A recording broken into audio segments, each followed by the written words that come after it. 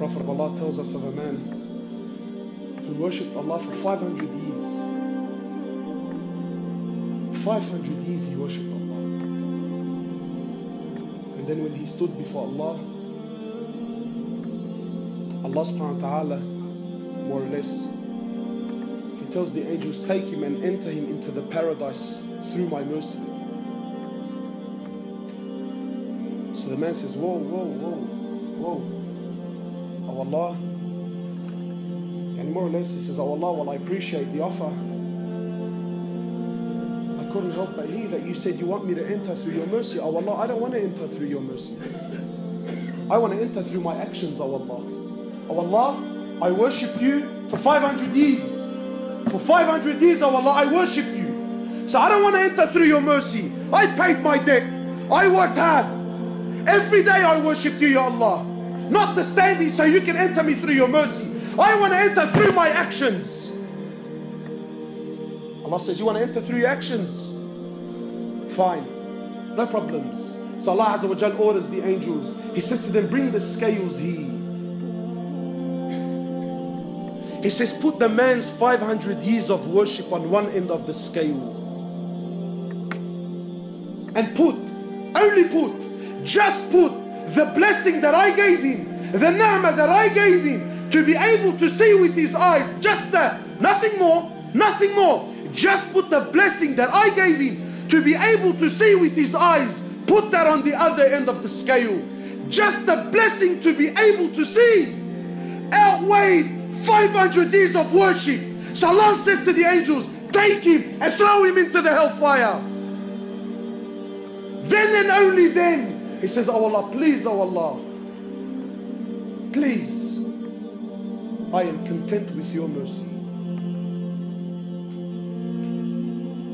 I'm content with your mercy, Ya Allah. Allah doesn't need anyone, my brothers. The ni'mah of seeing the Prophet of Allah in the authentic hadith, speaking to Sahaba, speaking to the greatest ummah that ever walked the earth, speaking to your fathers, speaking to a ummah that happily gave their lives for the pleasure of Allah. People who did the utmost, the biggest sacrifices, and they deemed themselves and the most as the most insignificant people. Today you do nothing and you think you're up there. They did everything and they thought that they were down there. The Prophet of Allah speaking to them. He says, None of you, who's he speaking to? He says, None of you will enter Jannah through your actions. None. People walking around like he's already from the people of Jannah, mashallah. People now they worship their mashaykh. 100% brother. This guy's from Firdaus al-A'la. The Prophet of Allah saying to Sahaba, none of you will enter Jannah through your actions. None. So they asked the Prophet of Allah, even you? He says, yeah, even me.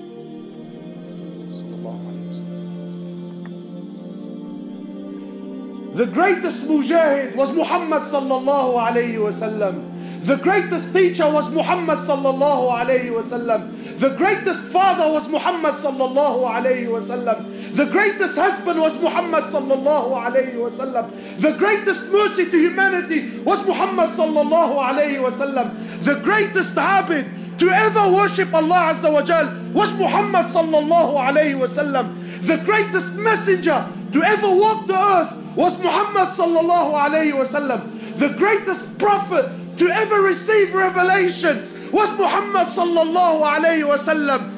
The greatest creation that Allah ever created was Muhammad sallallahu alayhi wasallam. And he says, even me. Except and only if Allah Azza wa Jal was to show mercy upon me.